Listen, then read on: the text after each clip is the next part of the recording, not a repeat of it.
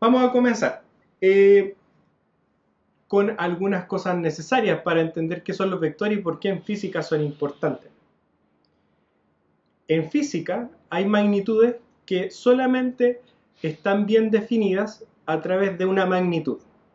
Por ejemplo, puede ser el tiempo, el volumen, eh, la masa, no necesitan de nada más, como la longitud también, no necesitan nada más que una cantidad que los determina 100%.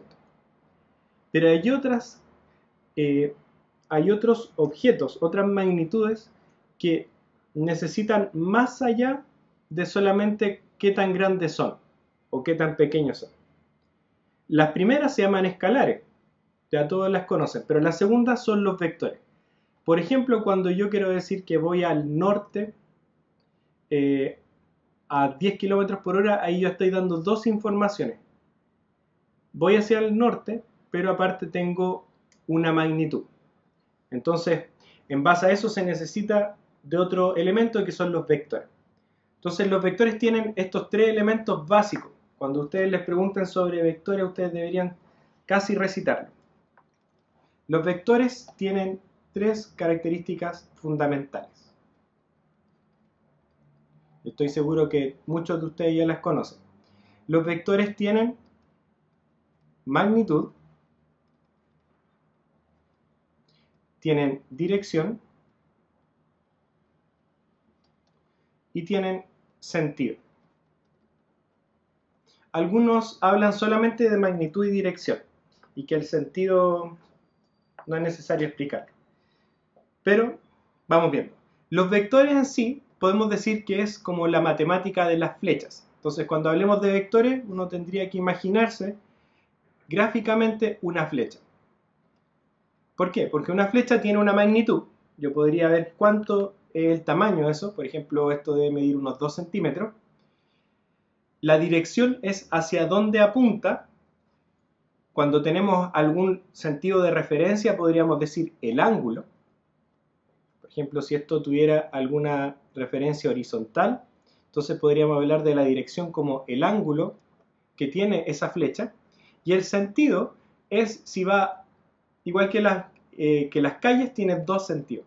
Podría ir para allá o para allá. Entonces, en sí el sentido es algo arbitrario, como muchas de las cosas en física, como los sistemas de referencia. Yo decido para dónde es el positivo y para dónde es el negativo. Eso es algo súper, súper importante que vayan considerando desde ahora. Que el sentido es arbitrario.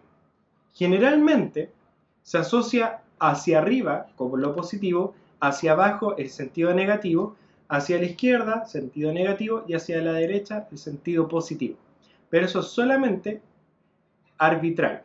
No, no, no da más información que eso.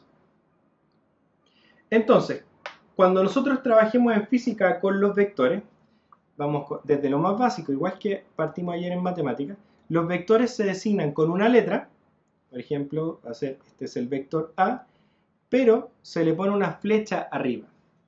Eso es súper fundamental. Si ustedes trabajan en una prueba en la universidad y no le ponen la flechita arriba, va a ser un escalar. Y le van a poner un 1. Otra manera que ya lo vamos a ver un poquito más adelante, es que yo le pongo un subíndice. Por ejemplo, f sub x va a decir que es el vector f, pero su componente x. Y f sub y va a ser el vector f, pero su componente y. Ya vamos a entender qué significa cada uno de esos, además que algunos de ustedes ya lo saben.